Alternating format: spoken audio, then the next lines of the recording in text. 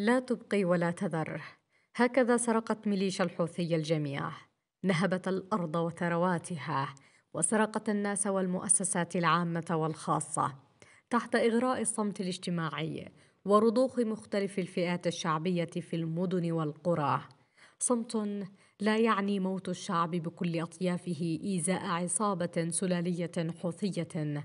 نهبت كل شيء في متناولها وضمن مناطق سيطرتها. لتبني ثروات الإرهابي الحوثي وأسرته وبعض الأسر السلالية المتورطة معه في حربهم الغاشمة على الشعب.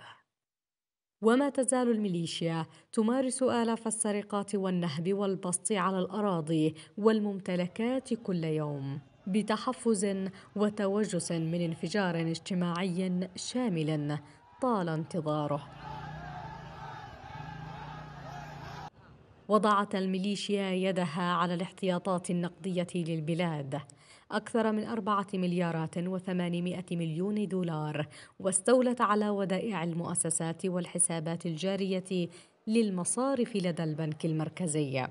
كما صادرت ودائع لأشخاص بما يزيد عن مليار وسبعمائة مليون دولار وأكثر من ملياري دولار من الأصول والممتلكات الخاصة في مخالفة لكل القوانين الوطنية والمواثيق والأعراف الدولية وفقا لتقارير مستقلة.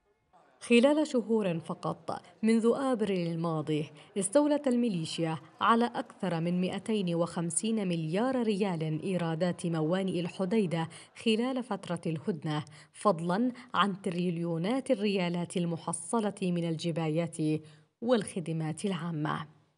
كل تلك الأموال الطائلة والثروات يتم تكديسها للحوثي وأسرته وأزلام عصابته العنصرية في حين يتفشى الفقر وتتوسع رقعة المجاعة في أوساط الشعب اليمني لمجرد أن اللصوص يظنون أنفسهم آلهة وعامة الشعب عبيدا لهم.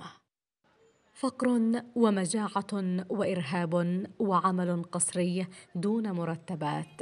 وضع تعيشه اليمن وحدها خصوصا مناطق سيطرة ميليشيا الحوثي.